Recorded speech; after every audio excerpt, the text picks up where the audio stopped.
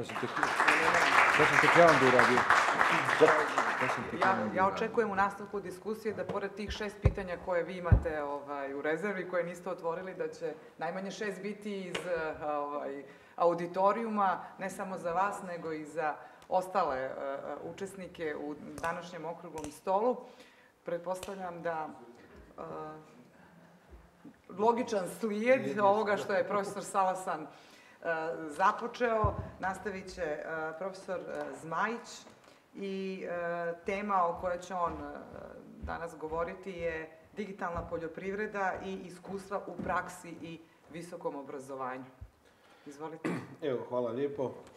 Pa ja mogu reći kao dekan za razliku kolege, kolege Čupića koji je u stvari pripremio prezentaciju, ja ću ovako to više iz glave, ali ono što bih želio pohvaliti kolegu Čupića, on je zaista jednu kroz svoju prezentaciju, Čupino, proste, kroz svoju prezentaciju stvari pokazao e, sve ono što mi, evo ja bih rekao kao dekani, promišljamo i s čime se nosimo u tom svome strateškom menadžmentu, kako na neki način provesti. S druge pak strane, izuzetno sam sretan i zadovoljan, sublimirajući ova dva e, izlaganja mojih prethodnika, da smo mi kao uprava fakulteta na našem fakultetu u stvari prepoznali sve te važnosti i značaj i da smo sad, uvjetno rečeno, e, puno toga započeli što je u stvari rezultiralo na neki način otvaranje ili uopće dolaska do same digitalne poljoprivrede, gdje smo na svome, u stvari, ne bih samo rekao na našem sveučilištu, nego u jednome jako širokom okruženju, u stvari smo uz Francusku koja to ima i u Portugalu, u stvari jedina, ajmo reći, institucija u ovome širem našem okruženju koja je u stvari razvila jedan takav studijski program i prepoznala. Mi smo u stvari institucija koja je u stvari prepoznala kako u stvari treba promijeniti naziv fakulteta. Mi smo do 2018. godine bili faku- poljoprivredni fakultet. A onda smo u stvari shvatili da se u stvari e, srednjoškolci koji su potencijalno upisuju naš fakultet, u stvari nas doživljavaju u stvari kao nešto fakultet u kojima je u stvari prepoznat kao motika, e, čizma ili ne znam ti nija što, a u stvari kod nas se dešavaju takva jedna nova znanstvena i tehnološka dostignuća koja idu prema biotehnologiji, da u stvari postojeći studenti koji nas upisuju, što je rekao kolega, gdje trebamo biti opet svjesni tko nam dolazi, znate, u stvari oni nas ne mogu niti pratiti, u pravom smislu riječi. Ni u području biotehnologije, a niti ni u području digitalne poljoprivrede kao takve. No, međutim, s druge strane, mi se nismo željeli s tome predati.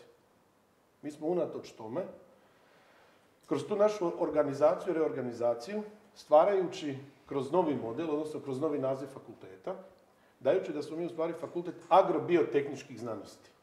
I da mi u stvari sada imamo jedan sasvim drugi koncept i načine što se mi u stvari želimo prezentirati prema vani, prema studentima, obuhvaćajući sve upravo što je opet kolega Čupina govorio, jel? i u smislu okoliša, i u smislu biotehnologije i proizvodnje hrane, i na kraju krajeva informacijskih tehnologija, pametne poljoprivrede, jel? Smo na neki način pokušali to sve su, objediniti i onda smo još dodatno stvorili naše istraživačke timove, odnosno istraživačke grupe, koje danas imamo na fakultetu njih 17. Što jeste u stvari ona snaga koja je povezana unutar samoga našega fakulteta, unutar pojedinih drugih fakulteta sastavnica, pa onda i daleko šire, u kojem onda pokušamo transferirati znanje, biti inovativni i kreativni i povezati se sa samim, ovaj, kako se zove, gospodarstvom. Sve je to na kraju krajeva polučilo da smo se prijavili na jedan projekat, obzirom da nam je bio još jedan cilj i internacionalizacija, pa smo na taj način u stvari prijavili se na jedan europski projekat koji je bio financiran iz Europskog socijalnog fonda, kojega smo uspjeli dobiti i u stvari krenuli smo sa ICT poljoprivredom. Tako se zvao taj naš, taj naš ovaj, projekat kojega smo dobili. Trajao je tri godine, vrijednost mu je bila negdje oko 3 milijuna kuna i mi smo uspjeli kroz taj projekat od tri godine razviti jedan studijski program gdje smo u početku stvari mislili da to bude IT u poljoprivredi. No, međutim, recenzenti su nas usmjerili i rekli da to treba biti digitalna poljoprivreda. Ne IT, nego digitalna poljoprivreda. I mi smo u stvari prihvatili preporuke recenzenata i dobili smo dopusnicu od ministarstva i razvili smo novi master studijski program koji traje dvije godine, digitalna poljoprivreda. E sad kada smo stvorili tu samu digitalnu poljoprivredu, normalna stvar da sada imamo mogućnosti da na kraj krajeva osposobimo studente za praćenje primjene suvremenih tehnologija u poljoprivredu, rast i razvoj biljaka i životinja, mjerenje prostorne i vremenske e, na neki način rezolucije, kako bi pravovremeno donosili odluke, kako bi koje će utjecati na kraj kraja na smanjenje troškova, povećanje proizvodnje i kvalitetu samoga proizvoda, a poljoprivredu činili kao takvu samu održivu. Jel? Normalna stvar, na taj način, normalno, e, imamo i veliki potencijal za unapređenje poljoprivredne proizvodnje, približavajući se svakoj specifičnoj proizvodnoj e, jedinici, gotovo svakoj biljci životinji i uzimajući u obzir i ekonomsku, i proizvodne, i ekološke uvjete. Isto tako treba reći i naglasiti, kada gledamo ovo naše široko područje, mi smo u stvari u početku tih informacijskih tehnologija. Tu negdje u ovom našem području mi smo negdje otprilike koristimo od 7 do 10%. U Sjedinim američkim državama procjenjuje se preko 30%. Su već prešli u sustav digitalne poljoprivrede. Isto tako recimo Njemačka, koja je visoko razvijena evropska zemlja i koju se mi na neki način svi težimo takvoj industrializaciji i razvoju, ona je negdje približno oko 20%. Zašto kažem industrializaciju? Zato što smo se mi u sklopu svega toga želili priključiti četvrtoj industrijskoj revoluciji, koja na neki način obuhvaća prvenstveno znanstvena istraživanja koja se temelje na primjeni precizne poljoprivrede. Isto tako na primjeni senzora i mreže senzora kao osnove za kompleksnu automatizaciju cjelokupnog poljoprivrednog sektora, na ulogu robota i robotskih sustava u radnim i proizvodnim procesima same poljoprivrede i na umjetnu inteligenciju, odnosno njihovu primjenu za osnaživanje cjelokupnog vrijednostnog lanca u proizvodnji, preradi i distribuciji samih poljoprivrednih proizvoda. I ono što je još izuzetno bitno i važno, mi kao fakultet možemo reći, da smo najviše na tome studijskom programu u stvari digitalna poljoprivreda dobili, ono čemu je opet kolega Čupić govorio koliko je to bitno i važno, ovaj, a to je da smo uspjeli se, zahvaljujući tome studijskom programu, povezati sa vanjskim tvrtkama, kompanijama.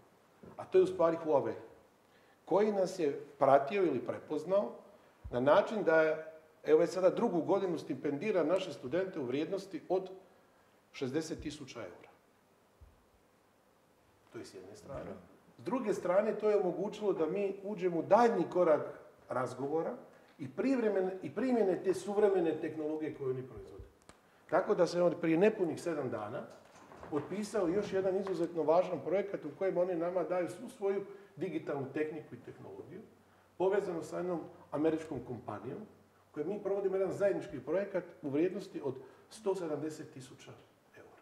Jedan Huawei donira, daje ta sredstva, sve ostalo kako bi mi mogli istraživati sve ove aktivnosti koje se dešavaju unutar jednog našeg zaštićenog područja kao što je to Kopački ri, kako klimatske promjene utječu na određene imigracije, mm. autoktonih vrsta, kretanje određenih stvari u biljnoj e, populaciji, odnosno ekosustavu kao takvome i tako dalje i tako Prema tome, to je fakultetu dalo jednu sasvim drugu dimenziju i zato, uvjetno rečeno, trebamo na neki način biti hrabri u takva jedna područja koja sada možda i nisu ili se mi ne osjećamo hrabri, što je kolega rekao, jel? na neki način smo inertni, ne želimo ući u takva područja, imamo određena, uh, određene bojaznosti, trebamo hrabro biti ući i nosi se sa takvim jednim problemima, jer ćemo na taj način osnažiti i naše profesore i područja u kojima ćemo dati mladima priliku da u stvari iskorače upravo u području geoinformacijskih sustava, precizne poljoprivrede, cjelokupne digitalizacije i na taj način ojačati i poziciju uvjetno rečeno fakulteta, sveučilišta i na kraju krajeva povezati se sa gospodarstvom, sa strukom, čega ćemo da iznaći radovi i mislim da ćemo dobiti ono što je upravo rečeno, a to je u stvari jedna ravnotežu između nastavnog procesa i istraživačkih uh, projekata u kojima ćemo dobiti jedan pogled onakav kakav bi u stvari bio po mjeri želili se naći u tome dijelu.